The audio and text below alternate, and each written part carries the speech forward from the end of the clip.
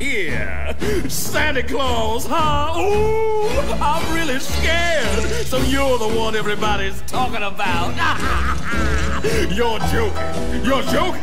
I can't believe my eyes. You're joking me. You gotta be. This can't be the right guy.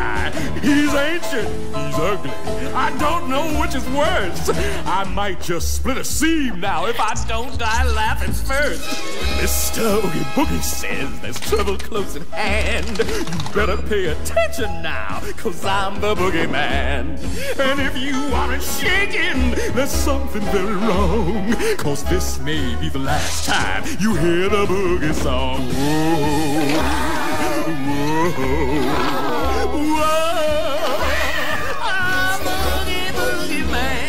Release me now, or you must face the dire consequences. The children are expecting me, so please come to your senses. Ah, You're joking! You're joking! I can't believe my ears! Would someone shut this fella up? I'm drowning in my tears. It's funny! I'm laughing! You really are too much. And now, with your permission, I'm going to do my stuff. What are you going to do? I'm going to do the best I can.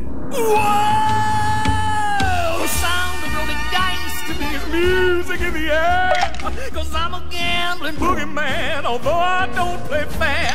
It's much more fun, I must confess, when lives on the line. Not mine, of course, but yours, oh boy. Now that'd be just fine.